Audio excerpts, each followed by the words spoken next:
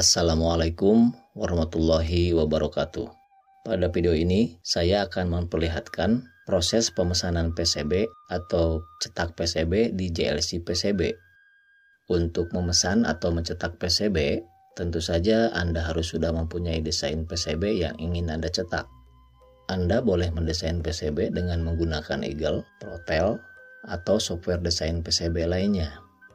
Yang terpenting, silakan buat desain PCB dalam format atau dengan output berupa file Gerber.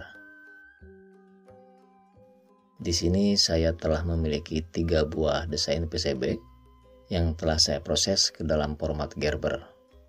Pada ketiga desain PCB ini, ada sejumlah file yang menjadi bagian dari file Gerber masing-masing desain PCB. Seperti yang ini misalnya, di dalamnya ada beberapa file Demikian pula desain PCB yang ini. Di dalamnya ada beberapa bagian file Gerber PCB. Dan desain yang ketiga, ini juga sama berisi bagian-bagian file Gerber. Gabungkan atau kompres masing-masing file desain tersebut dengan menggunakan aplikasi yang diperuntukkan untuk kompresi file seperti misalnya WinZip, WinRAR, 7zip, dan aplikasi kompresor lainnya. Di sini, saya memiliki tiga buah file desain PCB atau file Gerber yang sudah saya kompres dan siap untuk dikirim atau diupload ke JLC PCB. Selanjutnya, kita buka situs JLC PCB. Jika sudah memiliki akun atau sudah register, silakan klik tombol login, kemudian klik tombol sign in. Masukkan username atau email Anda.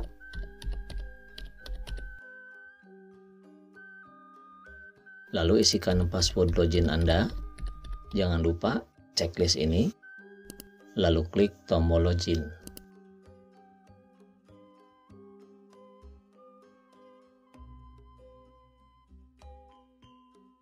Di sini sebenarnya kita sudah disambut dengan pom pemesanan.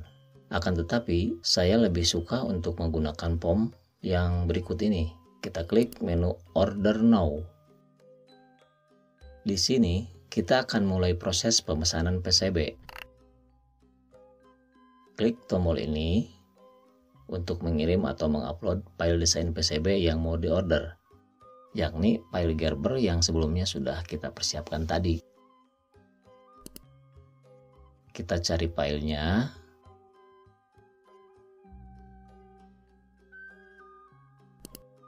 Jika sudah ketemu, klik dua kali atau open. Tunggu hingga proses upload ini selesai.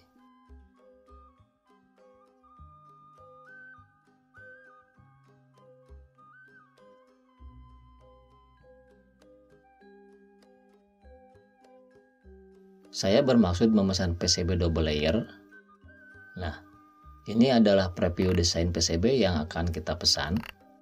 Di sebelah kiri, yang ini, ini adalah tampilan layar atas, dan yang di sebelah kanan adalah layar bawahnya. Jika sudah terlihat seperti ini, artinya file desain kita dapat diproses lebih lanjut. Langkah selanjutnya, setelah desain PCB berhasil kita upload, kita tinggal memilih atau mengisi kolom-kolom yang ada di sini.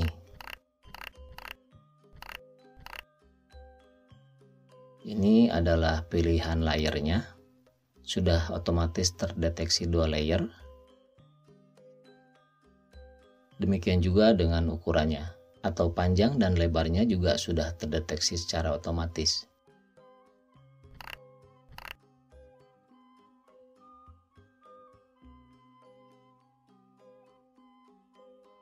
Jumlah PCB yang ingin dipesan, tinggal dipilih di kolom ini. Hal-hal lainnya boleh Anda abaikan dulu, kecuali jika Anda ingin memesan PCB dengan spesifikasi selain pilihan default yang sudah disediakan. Misalnya untuk pilihan warna, jika Anda menginginkan PCB berwarna merah, maka klik pilihan ini. Tapi kali ini saya ingin memesan PCB dengan warna hijau, maka saya pilih option yang ini. Jika Anda memesan PCB sebanyak 5 buah, maka di sini akan muncul informasi biayanya. Dan ini informasi atau pilihan durasi pengerjaan. Kemudian ini estimasi berat dari PCB yang kita pesan. Sekarang kita coba ubah jumlahnya menjadi 10 buah. Oke. Terlihat biayanya berubah menjadi 5 dolar dan beratnya di sini terlihat menjadi 120 gram. Kemudian di bagian ini ada informasi estimasi biaya pengiriman. Biaya pengiriman dihitung berdasarkan berat dan pilihan jasa pengiriman tentu saja.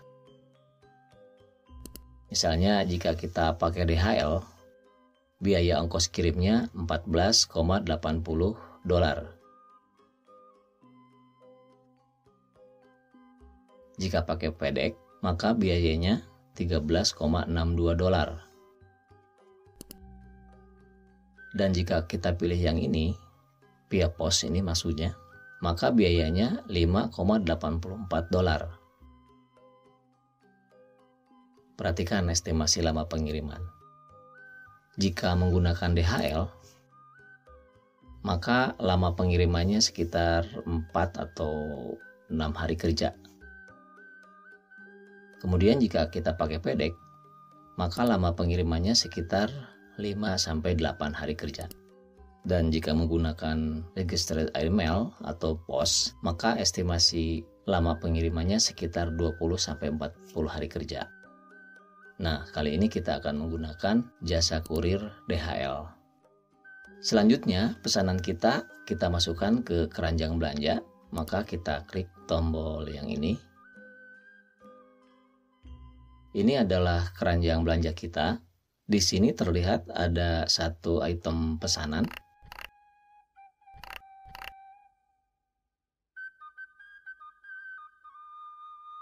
Jika ingin menambah pesanan PCB dengan desain berikutnya, maka kita klik tombol ini. Lalu lakukan proses seperti pesanan pertama tadi. Klik tombol ini untuk mengupload file desain berikutnya atau file Gerber tadi.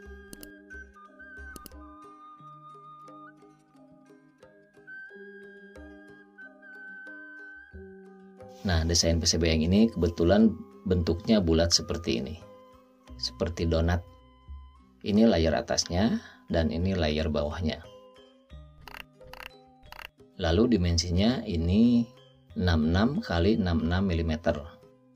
Jumlah yang saya pesan hanya 5 piece saja atau 5 buah saja. Biayanya terlihat sebesar 2 dolar. Lalu kita masukkan lagi ke keranjang belanja dengan mengklik tombol ini. Sekarang di keranjang belanja kita ada dua item pesanan PCB. Oke. Selanjutnya akan kita tambahkan lagi PCB ketiga. Maka kita klik tombol add item ini lagi. Kita upload lagi file desainnya dan kita tunggu lagi nggak proses upload selesai. Oke yang ini akan kita pesan sebanyak 10 piece atau 10 buah.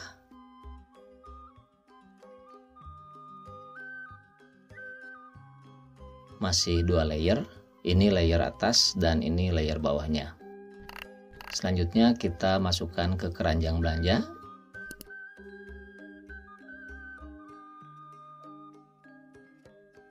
Sekarang, ketiga desain PCB sudah masuk ke keranjang belanja. Kita cek lagi jumlah pesanan masing-masing PCB. Yang ini biayanya 5 dolar untuk 10 piece. Yang ini 5 piece biayanya 2 dolar. Dan yang ini 10 piece biayanya 5 dolar. Jadi subtotalnya adalah 7 dolar. Eh maaf, yang ini belum kita checklist. Oke kita checklist. Oke sekarang subtotalnya adalah 12 dolar. Jika sudah yakin dengan jumlah pesanan selanjutnya kita tinggal check out dengan mengklik tombol ini.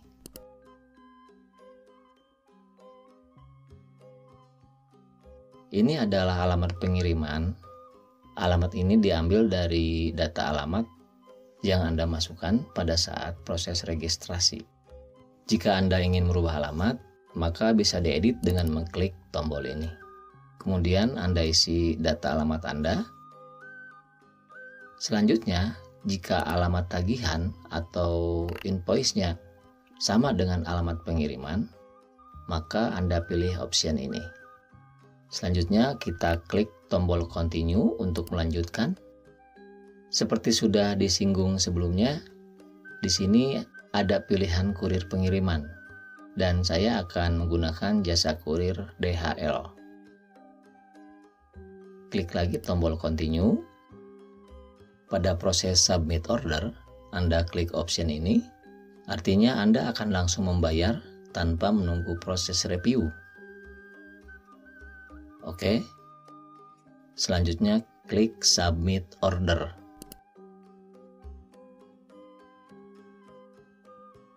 Pada halaman ini, di sebelah kanan, terlihat total biaya yang harus kita bayarkan. Ini biaya pembuatan PCB 12 dolar dan biaya pengirimannya 18,80 dolar. Jadi totalnya 30,80 dolar. Kita bisa membayar biaya pemesanan ini dengan transfer bank, kartu kredit, atau PayPal dan kali ini kita akan memilih untuk menggunakan PayPal. Selanjutnya kita proses pembayarannya dengan mengklik tombol Pay ini. Kita selanjutnya akan dibawa secara otomatis ke akun PayPal kita. Silakan login ke akun PayPal tersebut. Nanti jika saldo PayPal Anda tersedia, maka saldo tersebut akan otomatis terpotong untuk biaya pemesanan PCB ini. Jika sudah menyelesaikan pembayaran untuk pemesanan PCB, maka selanjutnya kita tinggal menunggu kiriman PCB yang kita pesan tersebut. Jika ingin memantau proses pesanan PCB, kita bisa melihat progresnya dengan cara mengakses history order kita. Klik menu ini, kemudian lihat progres masing-masing dari proses pesanan PCB kita. Video ini saya buat setelah proses selesai, sehingga kita dapat melihat statusnya sebagai berikut. Di sini terlihat tanggal 9 Desember 2020 pukul 20 pukul 8 malam. PCB kita sudah mulai proses pengerjaan, tahap demi tahapnya digambarkan seperti ini.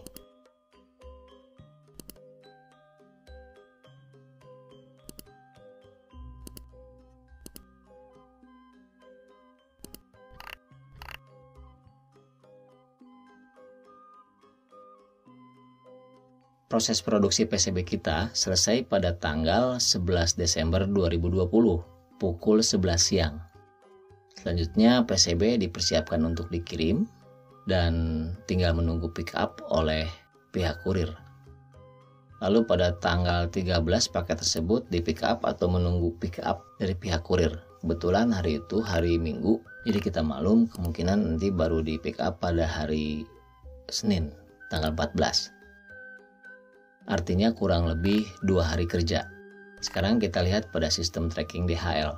Kita copy dulu nomor trackingnya, lalu kita buka situs DHL,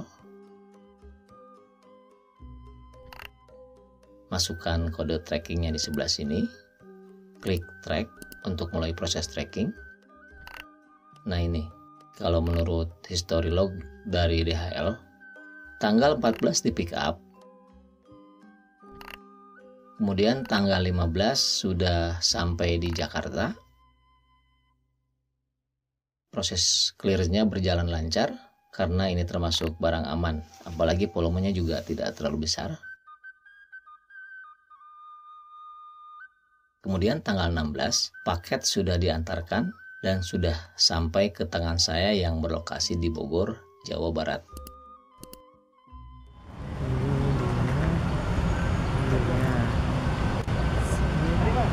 Dery nih ngirim paket buat kita nih dari DHL buat teman-teman yang butuh PCB dari luar saya rekomendasikan pakai DHL nih cuma tiga hari dari Shenzhen loh ini Pak Dery namanya oke okay. Pak Dery saya halo buat teman-teman kita oke okay. terima kasih banyak Pak Dery ini ya, ya. Ah iya. Gitu Pak ya? Oke, ya. Oke Pak. Ya terima kasih banyak Pak. Terima kasih, Pak. Ya, ini, Pak. Ya. Oke, ini udah ada paketnya. Ya. Selanjutnya, kita akan melakukan unboxing alias mesek paket. Di sini terlebih dahulu saya ingin menunjukkan beberapa informasi berkenaan kemasan paket yang diterima. Ini adalah label pengirimannya, berisi informasi data pengirim dan penerimanya. Di sini terlihat volume atau berat paket, yakni terhitung 0,4 kg. Kemudian di bagian belakang ada komersial invoice yang sekaligus berfungsi untuk deklarasi isi paket. Sekarang akan kita buka kemasannya.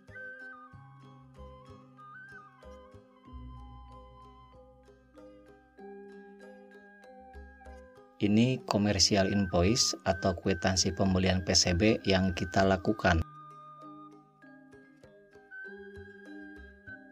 Mudah-mudahan dapat dilihat dengan cukup jelas supaya teman-teman dapat melihat hard copy invoice-nya.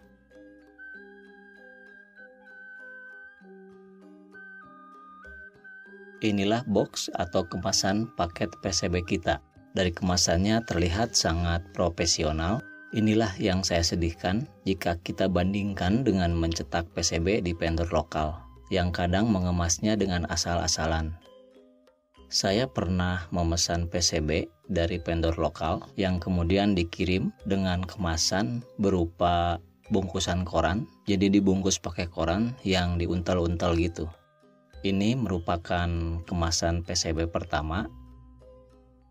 Dibungkus pakai bubble wrap dan dipakum sehingga sangat aman dari kerusakan saat pengiriman. Yang ini dikemas pakai plastik bag tebal yang juga dipakum. Saya sengaja menyebut masalah kemasan karena buat saya bentuk kemasan akan menggambarkan keseriusan mereka dalam melayani customernya.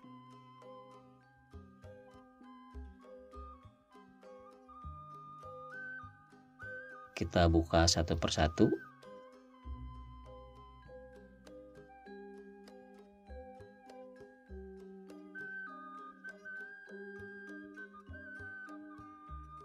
PCB yang ini saya pesan sebanyak 5 piece. Sekarang kita buka kemasan kedua.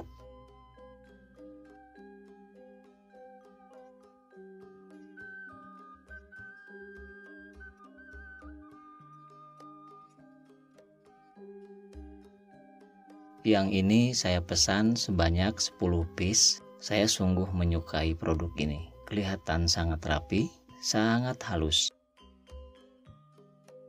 Selanjutnya kita buka kemasan ketiga. Ini merupakan PCB berbentuk bulat yang saya pesan sebanyak 10 piece. Bentuknya seperti donat dan lihat bulatnya begitu sempurna.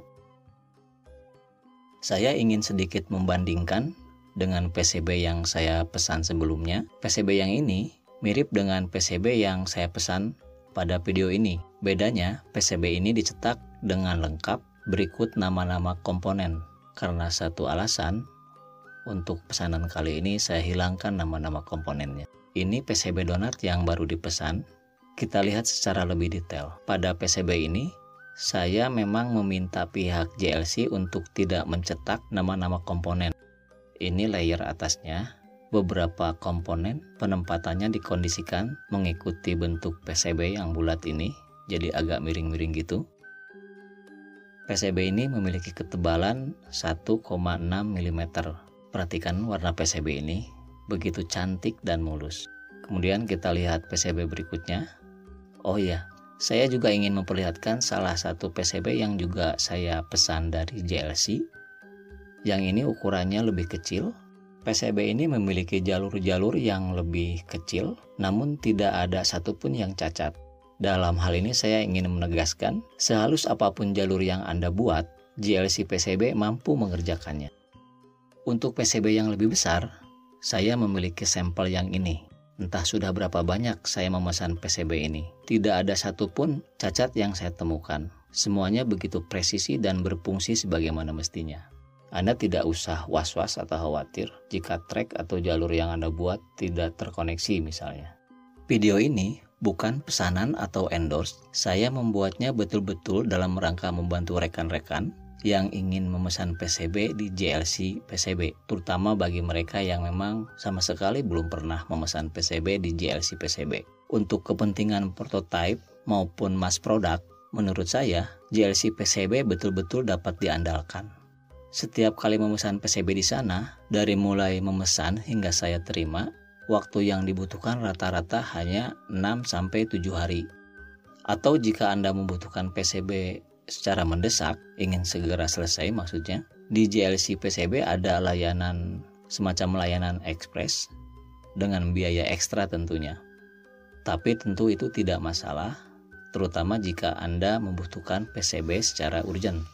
Saya sangat berharap sekali ada vendor lokal yang mampu membuat PCB berkualitas seperti di JLC PCB dengan durasi pengerjaan yang cepat dan dengan harga yang hemat. Demikian video ini dibuat dan disajikan. Semoga bermanfaat. Wassalamualaikum warahmatullahi wabarakatuh. Salam ngoprek. Salam ngoprek.